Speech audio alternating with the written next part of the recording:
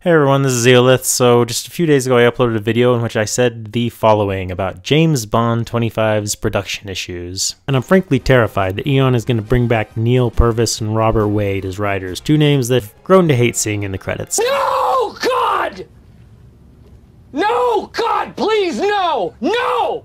No! No! 20 years. 20 fucking years. First off, and I apologize in advance that this is just reiterating a lot of points from my previous rant, I have to address the entire premise here. Why does Bond 25 need salvaging? This isn't a dance with dragons where George R. R. Martin wrote himself into a tangled knot of a million subplots he couldn't figure out how to properly intersect and reconcile.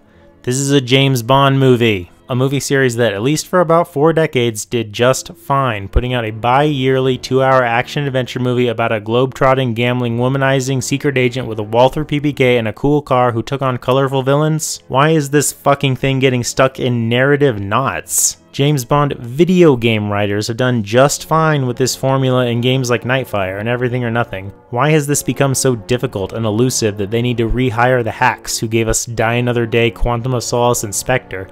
Said hacks having now worked on the series for, again, 20 years. It's a rhetorical question, because I actually do know why. Casino Royale. The best Bond film of the last 20 years, and personally one of my 10 favorite films of this century so far. Casino Royale was a masterpiece, and yes, Purvis and Wade played some role in that, piggybacking very heavily off of Ian Fleming's original text, with Paul Haggis also writing, and of course Martin Campbell directing. It's a rich, thrilling, mysterious, atmospheric, exciting, phenomenally entertaining Bond film, and received the critical acclaim to match. But that's where the problem started, because sometimes poison tastes great going down. That's why people eat fucking chocolate cake until their bodies go to ruin. And Casino Royale, with a decade plus retrospect, was supremely decadent chocolate cake. It tasted amazing going down, but man did it fuck up the James Bond movie series.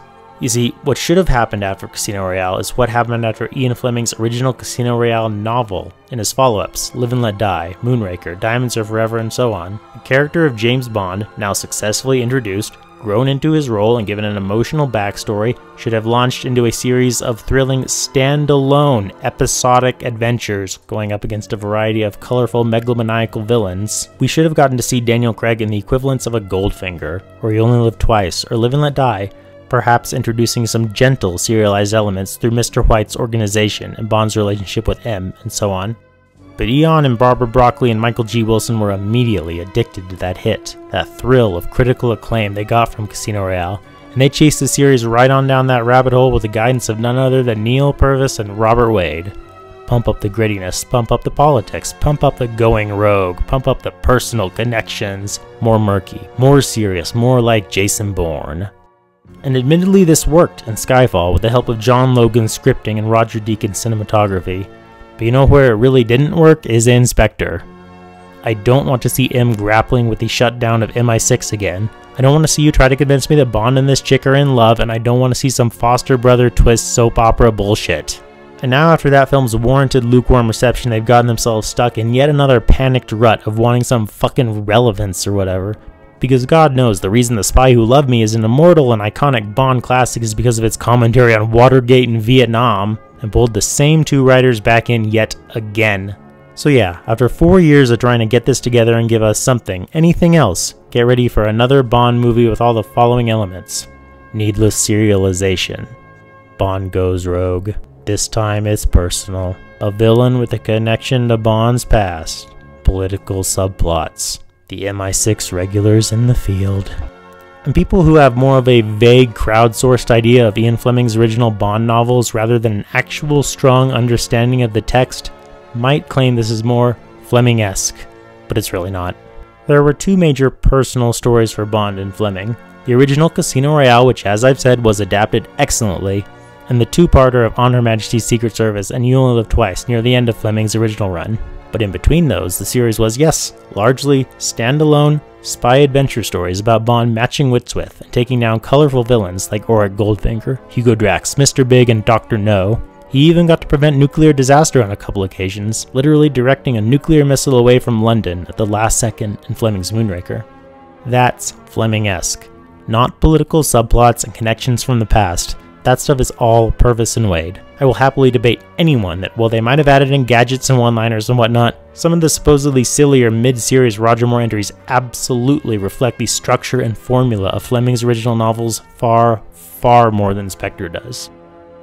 It's just amazing to me that such a strong, classic, long lived, iconic, and yes, profitable IP has been mismanaged to this degree, less talked about by younger generations these days, not just compared to box office top dogs like Star Wars and superheroes, but even less than like a few literal fucking BBC shows. Amazing that they have twice now in Casino Royale and Skyfall set this character up in a perfect place to give us a few classic Bond adventures with Daniel Craig and whiffed it both times, both whiffs being followed by ludicrous four year gaps of no Bond films. Like a mediocre actor who yields gold given the right, very specific material, Neil Purvis and Robert Wade have, with great guidance, in one case from Ian Fleming himself, been involved in a couple of great films over a couple of decades. But unique talents they are not, and Eon or Barbara Broccoli or whoever absolutely must stop rehiring them. Hell, Michael G. Wilson himself wrote for For Your Eyes Only, Octopussy, A View to a Kill, The Living Daylights, and License to Kill.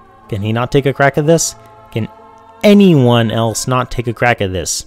Bruce Feirstein? Can they not just use John Hodge's original Danny Boyle script? But no, we're gonna have to hear from Bond 25's villain about how he turned to a life of evil because Q cut him in line at the Apple store in 2003 and this time it's personal. Seriously, Eon, you are trying to squeeze blood from two stones named Neil Purvis and Robert Wade.